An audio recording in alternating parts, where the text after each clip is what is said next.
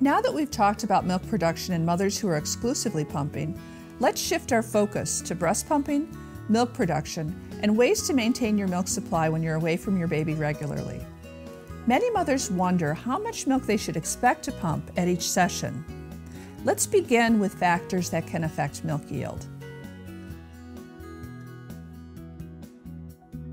One factor that affects milk yield is how long it's been since your last breastfeeding or pumping time of day is also a factor. Most mothers pump more milk in the morning than in the evening. How much practice you've had with your pump can also make a difference. Your mood can affect milk yield too. When you're relaxed, you're likely to pump more milk than when you're stressed. If your baby is exclusively breastfed, and you're pumping a half hour to an hour after a morning feeding, expect to pump about half a feeding. If you're exclusively breastfeeding and you're pumping for a missed breastfeeding, expect to pump a full feeding. How much is a feeding? This varies during the first month of your baby's life. From about your baby's third to seventh day, an average feeding amount is 1 to 2 ounces or 30 to 60 milliliters. During your baby's second and third weeks, feedings average about 2 to 3 ounces or 60 to 90 milliliters. From about one month to about six months of age, a baby's growth slows. For this reason, feeding volumes stay fairly stable, averaging about 3 to 5 ounces or 90 to 150 milliliters. No matter what your situation, knowing how milk production works can help you meet your breastfeeding goals. The more often and more fully the milk is drained from your breasts, the faster your breasts make milk. The opposite is also true. The fewer times each day you breastfeed or pump, and the more milk that's left in your breasts, the slower you produce milk.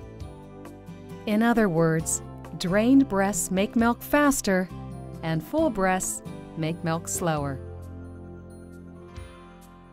If you're employed, attending school, or often away from baby for any reason, something else that's good to know is that between about one month and six months of age, most babies need about the same amount of milk each day.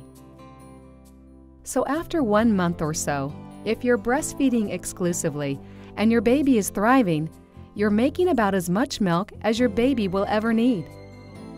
After this point, all you need to do is keep your milk production steady. At around six months, as babies begin to eat more and more other foods, they need less and less milk. From one to six months of age, at most, babies drink on average somewhere between 25 and 35 ounces or 750 to 1,000 milliliters of milk per day.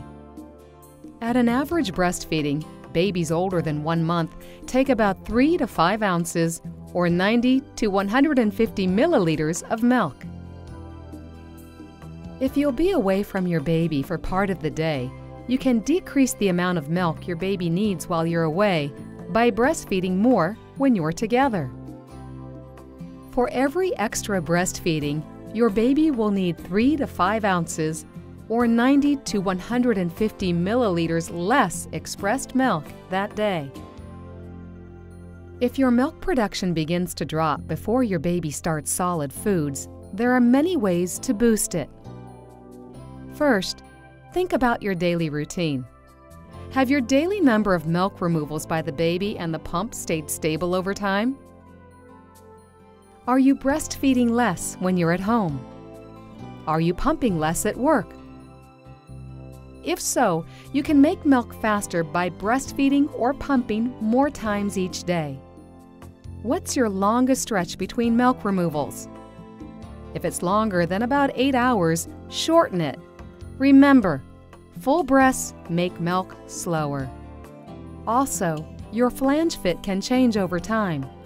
If your nipples are rubbing on the sides of the flange tunnel during pumping, you may pump more milk with a larger size. Either before or during pumping, try gentle breast massage. Some mothers find this can boost their milk yield right away. Talk to a breastfeeding specialist about other ways to speed milk production.